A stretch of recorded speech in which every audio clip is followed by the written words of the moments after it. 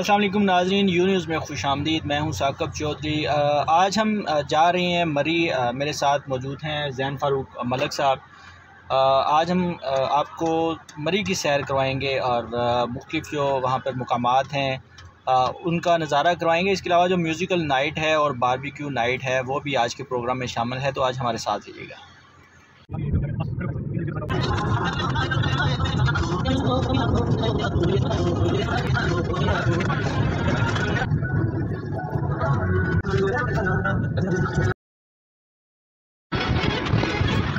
जी तो नाजरीन, हम शामली पहुँच गए हैं यहाँ से जो मरी है, वो 25 किलोमीटर दूर रह गया है। रास्ते में आपने जो बड़े खूबसूरत मनाजर देखे हैं, आइंदा जो मरी पहुँचने के जो हैं, वो इससे भी ज़्यादा खूबसूरत होंगे। अभी हमारा सफ़र जारी है और 25 किलोमीटर का मज़ीद सफ़र तय करने के बाद हम मरी में पहुँचेंगे और हमारी पहला जो पड़ाव है वो पदरियाटा में होगा।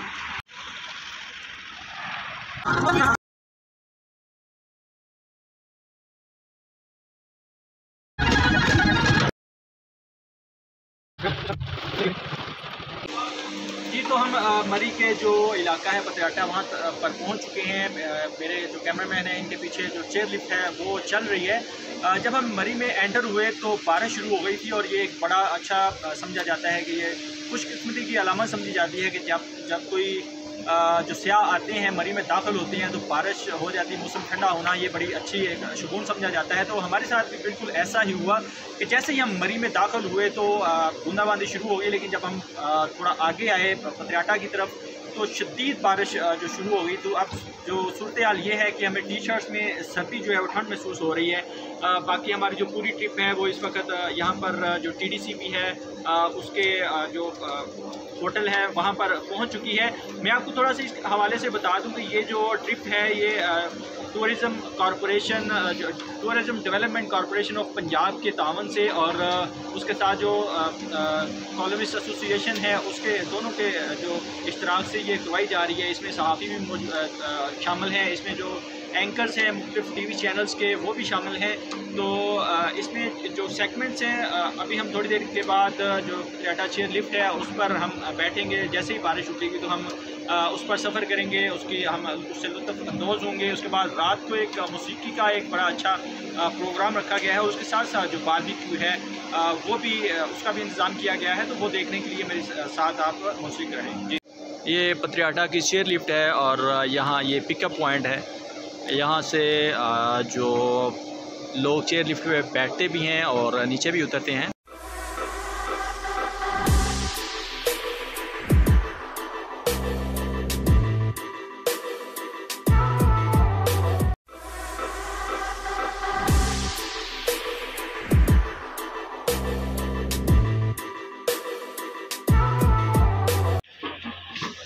हम पथरियाटा में पकोड़े ख़रीद रहे हैं। यहाँ पर एक सौ बीस रुपये पाँव हैं और दो सौ चालीस रुपये के किलो पकोड़े दे रहे हैं। आ, इनका टेस्ट काफ़ी अच्छा है थोड़े से मैंने खाए हैं। इसके बाद हम जाएँगे आ, कैंपिंग हमारी है जहाँ पर। वहाँ पर हम जा रहे हैं। जी तो इस वक्त हम पत्रियाटा में टीटीसीपी का जो कैंपिंग जो का इलाका है, वहाँ पर मौजूद हैं। यहाँ पर जो हमारे टूर के शुरा हैं, तकरीबन चालीस से पैंतालीस लोग हैं। उनके लिए जो कैंपिंग का इंतज़ाम किया गया है, यहाँ पर म्यूज़िकल नाइट भी होगी थोड़ी देर के बाद और जो बारबेक्यू का भी बड़ा अच्छा निज़ाम बनाया गया है। मेरा कैमरा मैन आपको दिखा सके कि यहाँ पर जो टेंट लगाए गए हैं हम लोगों के लिए।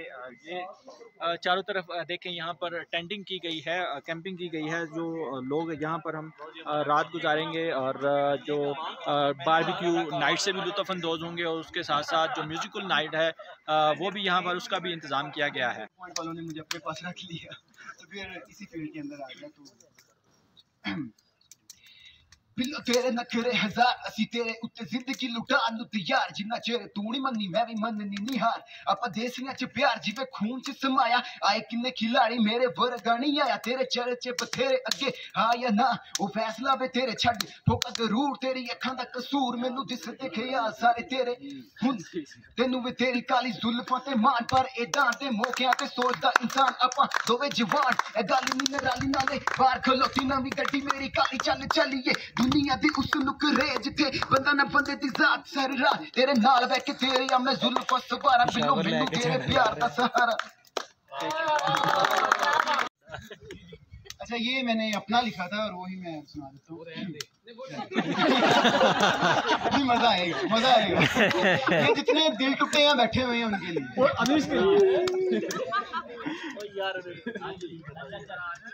ਸ਼ੁਰੂ ਕੀਤਾ ਰੈਪ ਸੀਨ ਉਦੋਂ ਸੀ ਮੈਂ ਕੱਲਾ ਇੱਕ ਸੀ ਕੁੜੀ ਜਿਹਦੇ ਵਾਸਤੇ ਸੀ ਚੱਲਾ ਉਹਦੇ ਪਿੱਛੇ ਫਿਰ ਮੈਂ ਸਭ ਕੁਝ ਛੱਡ ਦਿੱਤਾ ਜਿੰਨੇ ਮੇਰੇ ਯਾਰ ਸੀ ਮੈਂ ਜ਼ਿੰਦਗੀ ਚੋਂ ਕੱਢ ਦਿੱਤਾ ਤੁਰ ਪਿਆ ਫਿਰ ਬਸ ਉਹਦੇ ਰਾਸਤੇ ਲਿਖ ਦਿੱਤੀ ਜ਼ਿੰਦਗੀ ਮੈਂ ਬਸ ਉਹਦੇ ਨਾਮ ਤੇ। ਸ਼ੁਰੂ ਵਿੱਚ ਉਹ ਵੀ ਮੈਨੂੰ ਕਰਦੀ ਸੀ ਪਿਆਰ ਨਾਲੇ ਸਾਰਿਆਂ ਦੇ ਸਾਹਮਣੇ ਮੰਨੇ ਦਿਲਦਾਰ ਕਹਿੰਦੀ ਦਿਲਦਾਰ ਤੂੰ ਹੀ ਮੇਰਾ ਪਿਆਰ। तेरे बिना जो भी नंगे ज़िंदगी बेकार नाले तेरे मेरे बिच आवे ऐसी अज तक कोई बनी ना दीवार। तू ही मेरा रैप स्टार तू ही मेरा रैप स्टार फिर निकले झूठे वादे ओदे सारे। छड़ गई मेनू किसी होर दे सहारे। गल मिले जिथे असि वेखदे सी सपने। कला बैठा अज उस नहर दे किनारे। कला बैठा माजी नाल लड़दा पिया नाले दिल विच लहू मेरा सड़दा पिया। नाले उना लोकां दा किकरा जेड़े बने ने जवाल। ठीक है मैं ठीक नहीं पूछदे सवाल। किवें सुनावा टूटे दिल ਦਿਲ ਮੈਂ ਕਾਰ ਹਾਲ ਸੀ ਜੋ ਪਹਿਲਾ ਮੇਰਾ, ਅੱਜ ਵੀ ਹੈ ਉਹੀ ਹਾਲ, ਅੱਜ ਵੀ ਹੈ ਉਹੀ ਹਾਲ। ਮਤਲਬ ਦੀ ਇਹ ਦੁਨੀਆ ਸਾਰੀ। ਇਹ ਮਤਲਬ ਦੇ ਯਾਰ ਬਥੇਰੇ। ਅੱਗੇ ਨਾ ਦੁੱਖ ਭੁੱਲੇ ਸਜਣ ਦਾ, ਤੇ ਦੁੱਖ ਲੱਗ ਗਏ ਤੇ ਦਰਦੀ ਕੋਈ ਨਾ, ਪਰਦੇਸੀ ਦਾ। ਸੁਣੇ ਦੁੱਖ ਮੇਰੇ, ਮਨਜ਼ੂਰ ਮੀਆਂ ਚੱਲਿਓ ਥੇ ਵਸੀਏ। ਜਿੱਥੇ ਵਸਦੇ ਨੀ ਦਰਦੀ ਥੋੜੇ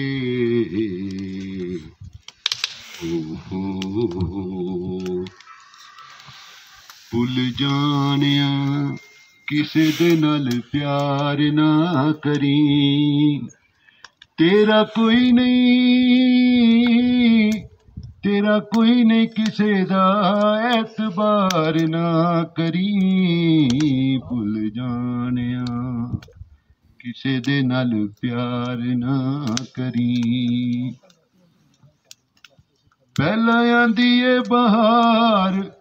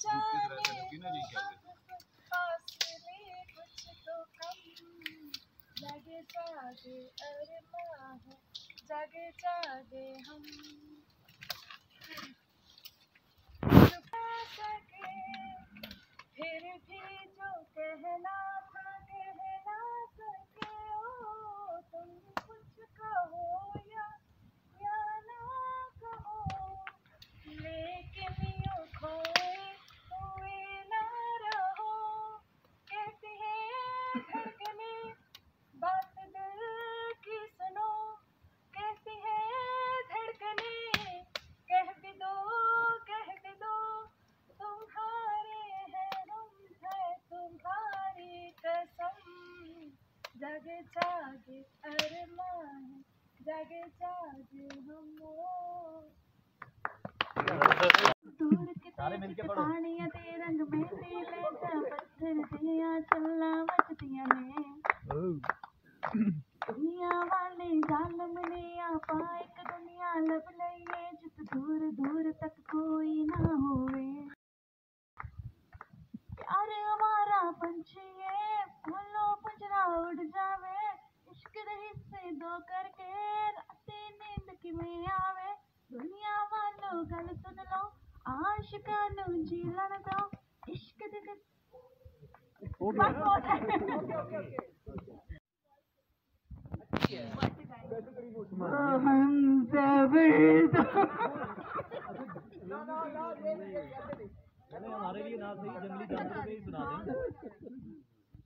देखिए इंसान सारे आपको रिस्पेक्ट करते हैं सबकी नज़र आपके ऊपर है और सब आपकी सुरीली आवाज़ से मतलब कि सुनना चाहते हैं। होना चाह रहे हैं। महजूज होना चाहते हैं।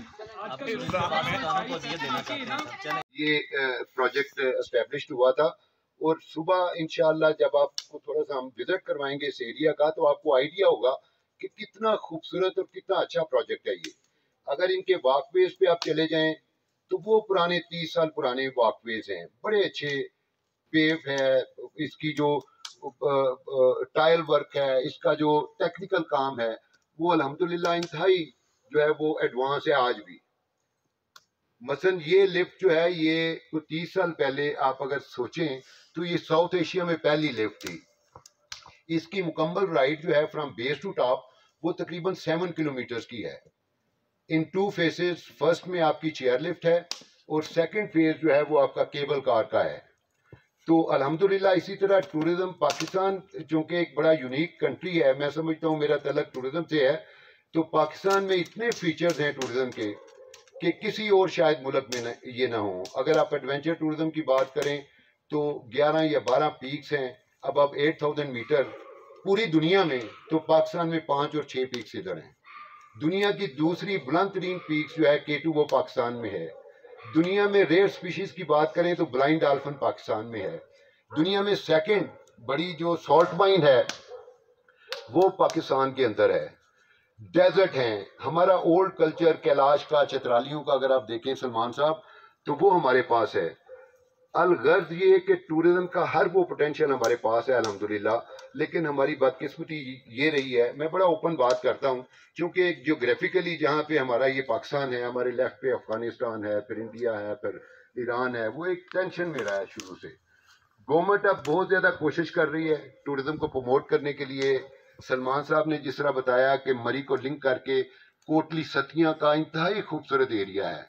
सीनिक है आपकी फॉरेस्ट्री जो है वो बड़ी खूबसूरत है। वहाँ पे आपको वाटरफॉल्स मिलेंगी।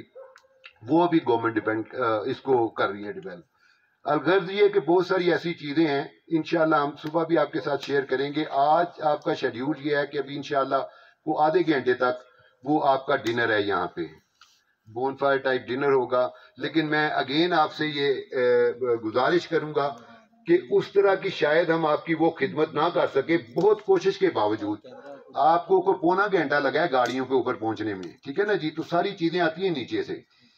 कोशिश हमने की है कि आपका स्टे बड़ा पीसफुल हो अच्छा हो कंफर्टेबल हो, लेकिन इसको आप जेन में ये रखें कि ये कैंपिंग जो है, ये एक एडवेंचर एक्टिविटी है।